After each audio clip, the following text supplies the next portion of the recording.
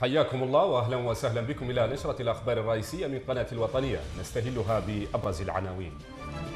والعبد العزيز يهاجم المعارضة المقاطعة ويقول إنها تتهرب من المحك.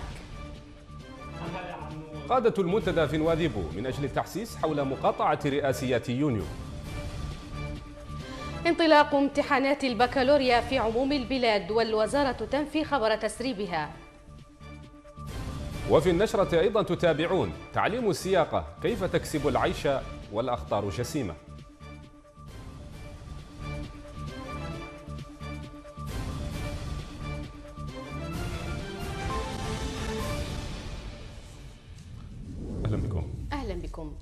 هاجم المرشح الرئاسي محمد العبد العزيز في مهرجان شعبي لأنصاره في نواذيب المعارضة المقاطعة قائلا إنها تتهرب من الوقوف على المحك وتتعلل بحجة وهي.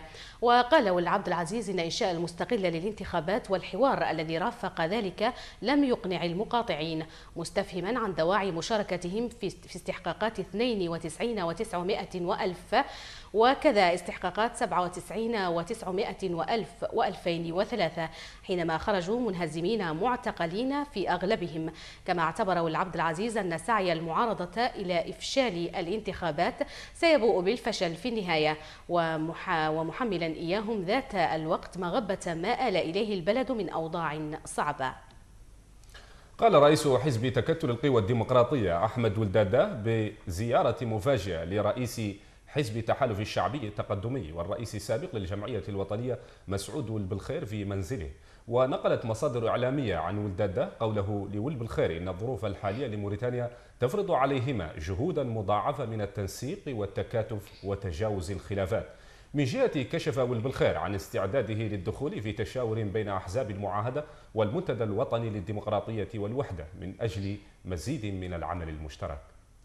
وفي خبر متصل توجه قادة منتدى الديمقراطية والوحدة المعارض إلى مدينة واذيبو من أجل تنظيم نشاطات تعبوية يدعون من خلالها المواطنين إلى الامتناع عن التصويت ومقاطعة الانتخابات الرئاسية المقبلة. قادة المنتدى كانوا قد قاموا على مستوى واكشط بجملة من النشاطات كان أبرزها المسيرة التي نظمها المنتدى في الرابع من هذا الشهر واعتبروها حدثا تاريخيا. انتقد رئيس حزب الاتحاد من أجل الجمهورية ما قال إن أحزابا منضوية تحت مسمى المنتدى الوطني للديمقراطية والوحدة. تعمل عليه من صد أو ما تعمل عليه من صد المواطنين عن الإقبال على مكاتب الاقتراع. وقال واللي زيد به إن خطوات المنتدى أو خطوات المنتدى من أجل المقاطعة تدخل في صميم مصادرة رأي المواطنين الموريتانيين وإهانتهم مدنيا وسياسيا وتعبر عن مظهر خطير من مظاهر التزوير الانتخابي. كما تنذر بانهيار وشيك لبعض الأحزاب المقاطعة تحت ضغط الانسحابات الجماعية. هذا ولوح رئيس حزب الاتحاد ناجي الجمهورية بإمكانية اللجوء إلى القوة المدنية لردع تصرفات المعارضة المقاطعة على حد وصفه التي تتاجر بالمال المشبوه وشراء الذمم. نددت اللجنة الوطنية المستقلة للانتخابات في بيان لها كل تصرف أو سلوك يمنع الناخب من ممارسة واجب الانتخاب عبر صناديق الاقتراع باعتبارها الغاية الأخيرة من العملية الانتخابية. وقال البيان الصادر عن اللجنة إن بعض ممثلي المترشحين الرئاسيين قد أبلغها بخصوص عمليات شراء أصوات إلا أنه بغض النظر عن صحة هذه المزاعم فإنها تدين وبشدة مثل تلك التصرفات. وفي الشأن التربوي انطلقت صباح اليوم امتحانات البكالوريا على عموم البلاد ويشارك فيها ما يقارب 41621 طالبا موزعين على 106 مراكز. تمثل نسبة البنات من بينهم أكثر من 44% ويأتي تنظيم امتحانات هذه السنة وسط ارتياح من طرف الجهات المعنية بتنظيمها والتي أكدت توفر كل المستلزمات الضرورية لسير العملية. وكانت منذ يومين قد سرت شائعات بتسريب امتحانات بكالوريا هذا العام وهو ما نفته المصالح التعليمية المختصة. جملة وتفصيلا.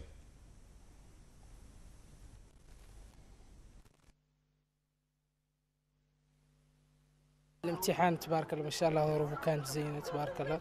كان على المستوى المطلوب سيرته كانت واضحة ما شاء الله وسهلة. التلاميذ ما احتاجوا لي شيء ما شاء الله ولا تعرضت لهم أي مشكلة تبارك الله. إيه يا غير لو اطلاق اطلاق ما هم خالقين. ما هم خالقين. خالقين.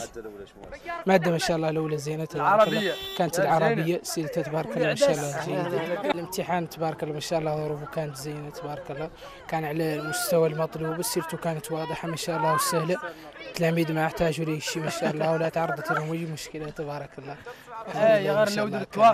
اطلاق ما هم خالقين ما هم خالقين ما هم خالقين مادة ما شاء الله الأولى زينة تبارك الله. العربية. كانت العربية سيرتها تبارك الله ما شاء الله جيدة تشكل المستوصفات الصحية الدعامة الأولى للعملية الاستشفائية داخل البلد.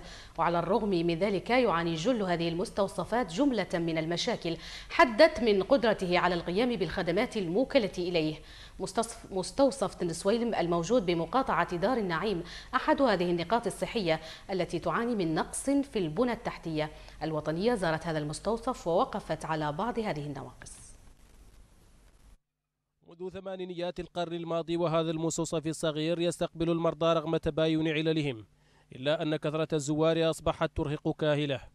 فعلى الرغم من بعض التحسينات التي أجريت عليه كإنشاء بعض الأقسام التي كان يحتاجها ما زال الكثير مما ينقصه فجيرته من مستشفى الشيخ زايد زادت الضغط عليه حتى أصبح مراجعه بالآلاف سنويا. وضعية استدعت من القائمين على هذه المنشآت الصحية المطالبة بتزويدهم ببعض الأقسام المفقودة.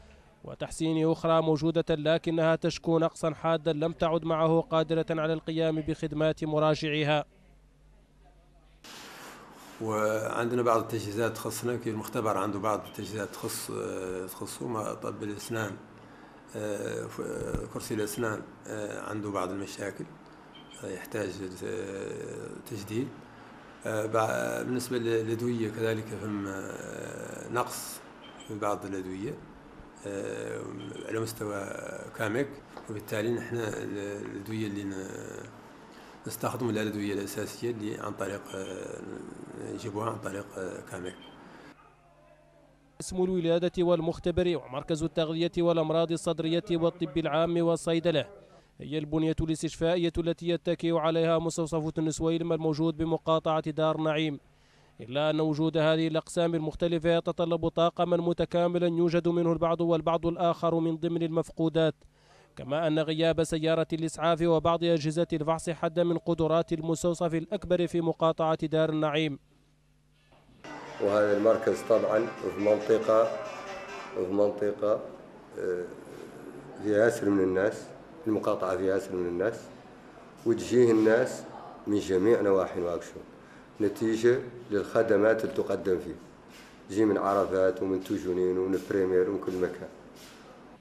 مراجع هذه النقطة الصحية وإن تباينت آراءهم حول جودة الخدمة المقدمة إليهم إلا أنها اتحدت في مطالب رأوا أن كمال تلك الخدمة يعود إلى توفيرها وفي أسرع الأوقات.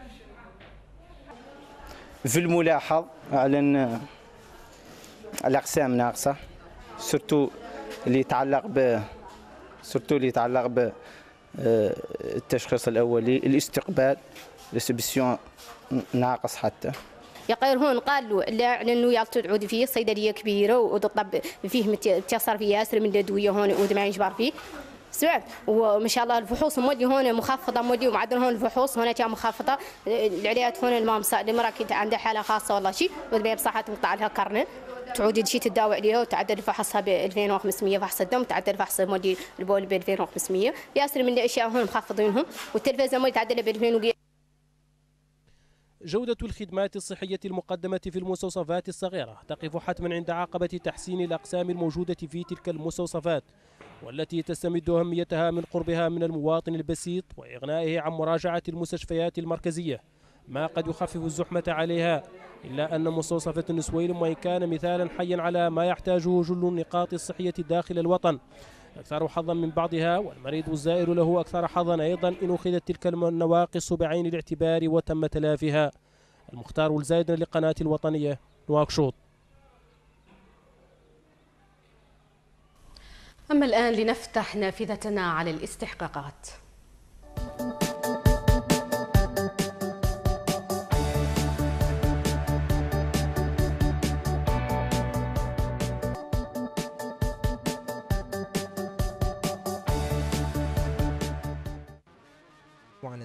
نظمت آسيا ساماكي مبادرة باسم الخيار السليم بمقاطعة تفرغ زينه تحدثت فيها الداعمة عن منجزات المرشح محمد العبد العزيز. وقالت آسيا إن إنجازات المرشح محمد العبد العزيز شملت التنمية البشرية والاقتصادية وترسيخ الديمقراطية والحريات الفردية والجماعية فضلا عن صيانتها. في عهده الميمون شهدت البلاد تعزيزات تعزيز مؤسسات الدولة وترسيخ الممارسات الديمقراطية وتحولت الحريات الفردية والجماعية إلى واقع معاش. أما قطار أما قطار التنمية فما زال يصول ويجول دون ما توقف بفضل حكمة سيادة الرئيس محمد بن عبد العزيز مرشح الشباب والأمل لكل الموريتانيين الذي أراد أن تكون البلاد كلها ورشات عمل.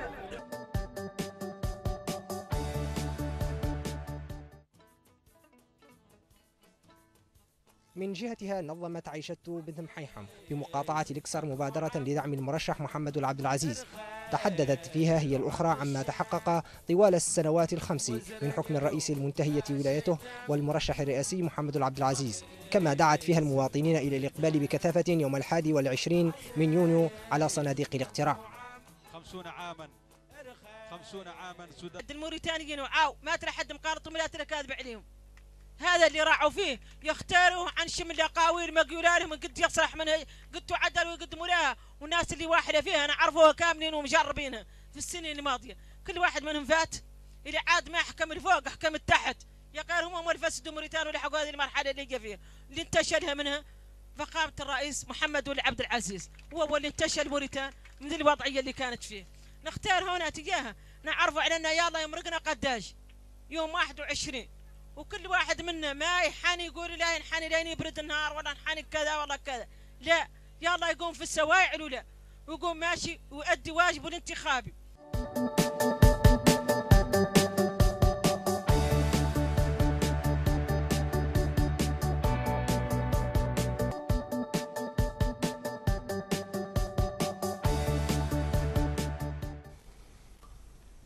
يعتبر المركز الوطني لإعادة التأهيل وتركيب الأعضاء من بين المراكز الأكثر حساسية وقربا من حياة الإنسان الموريتاني.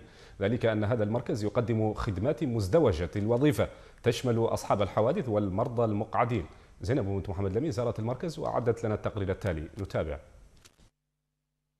لأن الحياة أبقى من المصائب ولأن عجلتها في دوران دائم تأسس المركز الوطني لتركيب الأعضاء وإعادة التأهيل. ليمد بساط الأمل من جديد أمام مورده الذين صفعتهم الحياة بفقدان عضو أو بتعطل آخر. ونتيجة لعصيان الحوادث والأمراض على التحديد المكاني والزماني وسعيا لتقريب الخدمة من المعوزين فقد سعى القائمون على المركز إلى فتح ممثليات تنوب عنه في بعض الولايات. تقريب ربما منع من تعميمه صعوبة العمل وندرة المتخصصين. في هذا المجال نلفت الانتباه إلى عن إلى إلى شحة المصادر البشرية في هذا المجال ولا التخصص في هذا المجال. حيث لا توجد مدارس متخصصة في شبه المنطقة الله أساسا بعد حولنا إحنا إلا المغرب والجزائر.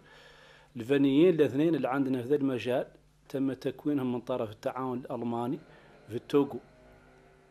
وعمرهم الفني تجاوز 26 سنة معناه أنهم تقريبا على أبواب التقاعد ولا فيه شيء في الأفق آه، قريب.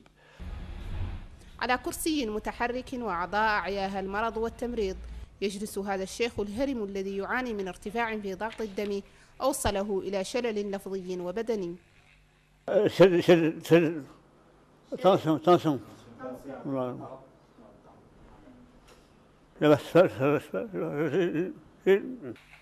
هي إذا حالات مرضية وأخرى عرضية يفتح هذا المركز الباب بمصراعيه أمامها. عل وعسى أن تعود لأصحابها الحياة من جديد.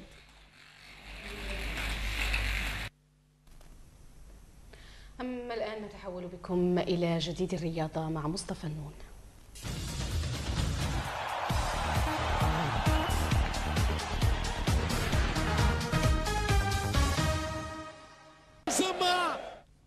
ضمن المجموعة الخامسة وفي الجولة الأولى من بطولة كأس العالم 2014 قاد النجم الفرنسي كريم بنزيما منتخب بلاده للفوز على منافسه الهندوراس بنتيجة ثلاثة أهداف لصفر.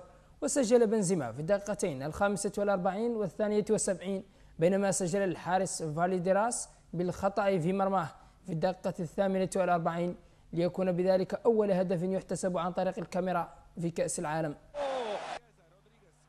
وضمن ذات السياق وفي المجموعة ذاتها تغلب منتخب سويسرا على منتخب الإكوادور بهدف قاتل في الثواني الأخيرة من الوقت بدل الضائع لكي تكون نتيجة المباراة اثنين لواحد. أما في المجموعة السادسة فقد قاد الساحر الأرجنتيني ليونيل ميسي نجم برشلونة الإسباني منتخب بلاده التانغو إلى فوز مثير وشاق على نظيره المنتخب البوسني بهدفين لا هدف تقدم منتخب الأرجنتين في الدقيقة الثالثة من المباراة عن طريق الهدف العكسي الذي أحرزه السياد كولازينياك لاعب البوسنة في مرماه قبل أن يتمكن ليونيل ميسي من توسيع الفارق بإحرازه الهدف الثاني في الدقيقة الخامسة والستين بينما سجل وداد إبشيفيتش الهدف الوحيد لمنتخب البوسنة والهرسك في الدقيقة الخامسة والثمانين.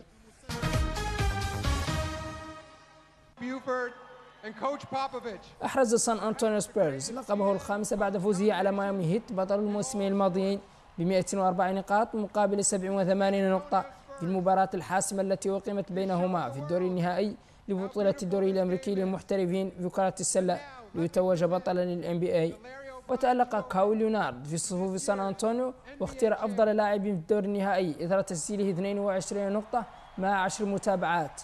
وأضاف للفائز كل من مانو جينوبيلي 19 نقطة وباتي ميلز 17 نقطة وتوني باركر 16 نقطة وتيم دانكان 14 نقطة مع ثمان متابعات.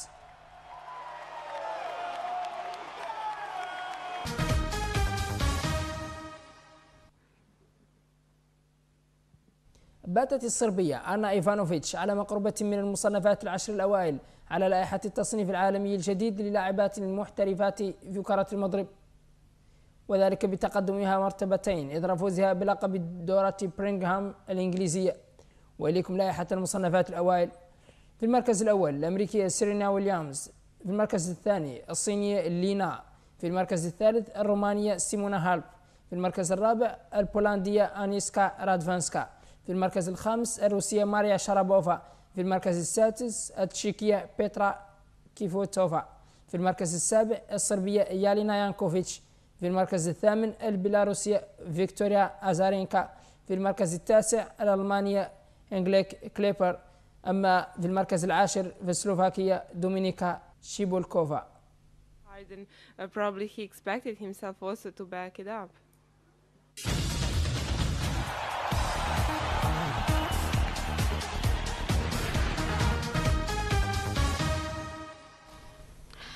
تشهد العاصمة نواكشوط طفرة غير مسبوقة لمدارس تعليم السباقة وسط غياب الرقابة من الجهات المعنية. ويرى أصحاب هذه المهنة أن عدم سن قوانين واضحة ورادعة هو سبب هذا التسيب الذي تشهده حركة المرور في العاصمة. عبد الرحمن ول الحكومة زار بعضا من هذه المدارس أي مدارس السياقة وعاد بالتقرير التالي. يمارس بده للخو مهنة تعليم السياقة منذ فترة من الزمن ليست بالقصيرة. للراغبين فيها لكن حسب الشروط والقوانين المرورية المتعارف عليها على حد قوله. ويرى أنه يجب أن لا يمارس هذه المهنة إلا عارف بحيثياتها وخطورتها. اللي فيه من السلبيات عن هون قدر من الفوضى في الشارع. الناس كلها يجي فوضوية المهنة. يقول أنا نعلم السياقه وأنا عندي مدرسة وهو يعود ما عنده مدرسة الدولة ما هي مشرعه له. ويقبل يشير أخلاقه يقبل فانسيس جديدة والله اليجانس جديدة ويقيم ويتعلم. الكل هنا يؤكد خطورة هذه المهنة ويؤكد أيضا أن اشخاصا لا خبرة لديهم ولا علاقة لهم بقيادة السيارات يعلمون القيادة لكل من هب ودب دون أي تحفظ. السياقه فعلا مهنة مهمة من أساس المهن. يمارس المواطن. ولكن ما هي محمية. ما هي محمية في موريتان. كل من هب ودب يجي ويمارس المهنة اللي لكن امرا هو الأدهى من ذلك وهو تعليم القصر والأطفال الذين لا تجربة لديهم في الحياة ولا يميزون بين الخطأ من الصواب في هذه المهنة. يجرون لصغار السن الذين قانونيا لا يحق لهم التعامل فيما أعتقد. وفي الشوارع. لا أرى وكالة رسمية يدخلون إليها ويتعاملون معها تضمن لهم السلامة تبقى مشكلة تنظيم حركة السير المرورية مطروحة في نواكشوط. رغم كثرة الحوادث المتكررة والمتضرر الأكبر هو المواطن الموريتاني البسيط. لكن تبقى أيضا مهنة تعليم السياقة لأصحابها ملاذا مؤقتا من صديد الفقر. عبد الرحمن الحكومة الوطنية نواكشوط. وبهذا التقرير نأتي على نهاية النشرة وهذا تذكير بأبرز ما جاء فيها. ول عبد العزيز يهاجم المعارضة المقاطعة ويقول إنها تتهرب من المحك. قادة المنتدى في نواذيب من أجل التحسيس حول مقاطعة رئاسيات يونيو انطلاق امتحانات البكالوريا في عموم البلاد والوزارة تنفي خبر تسريبها كما تابعتم أيضا تعليم السياقة كيف تكسب العيش والأخطار جسيمة